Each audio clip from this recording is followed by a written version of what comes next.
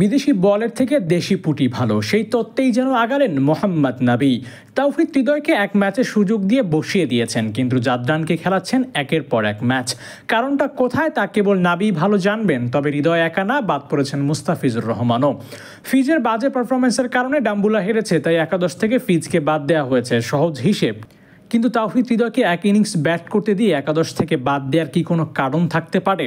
কে জানে, ভালো কোনো কারণ নাবির কাছে আছে হয়তো। তবে তার দল যা করেছে তা একেবারেই আইডিয়াল না। প্রথম ম্যাচে হৃদয় আউট হয়ে গেছেন কোনো কিছু বুঝে ওঠার আগেই। পরের দিন এক ধাপ নিচে নামিয়ে দেওয়া হয়েছে ব্যাটিং অর্ডার আর ব্যাট করার সুযোগই দেয়নি ডাম্বুলা। এর পরের ম্যাচে বলা কহীন একাদশ থেকে বাদ, কিন্তু কদিন পরেই মুস্তাফিজকে একাদশ থেকেও ঝাড়াই করা হয়েছে।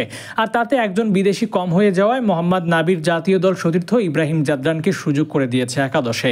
আর তাতে তাফিজ হৃদয়ের একাদশে ফেরার রাস্তা একেবারেই বন্ধ হয়ে গিয়েছে।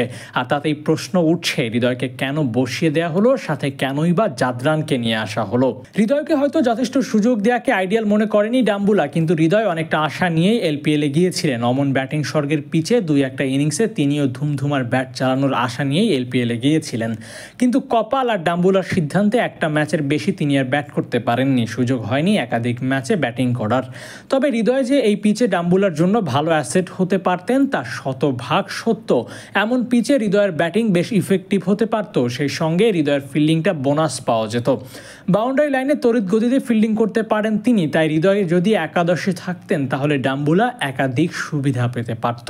একাদশে হৃদয় নেই, পরের ম্যাচগুলোতে জায়গা পাবেন কিনা সে নিয়েও রয়েছে যথেষ্ট সন্দেহ, কেননা ডাম্বুলা গ্রুপ পর্বে আর ম্যাচ পাবে মোটে একটা। ক্যান্ডি ফ্যালকনসের বিপক্ষে জয় পেলে কলম্বোর সাথেও যদি জয় পায়, তাহলে নিশ্চিত হবে সুপার ফোর।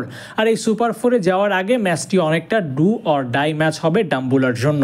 আর এমন একটা ম্যাচে হৃদয়কে দিয়ে এক্সপেরিমেন্ট করবে কিনা ডাম্বুলা সিক্সার্স সেটি দেখার বিষয়।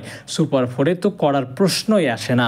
বিশেষ প্রয়োজন ছাড়া তাই তাওফিক হৃদয় ও মুস্তাফিজুর রহমানকে এলপিএলে আর নাও দেখা যেতে পারে। ভাগ্য যদি সুপ্রসন্ন হয়, তাহলেই আবারও একই সাথে দেখা যেতে পারে এই দুই টাইগারকে।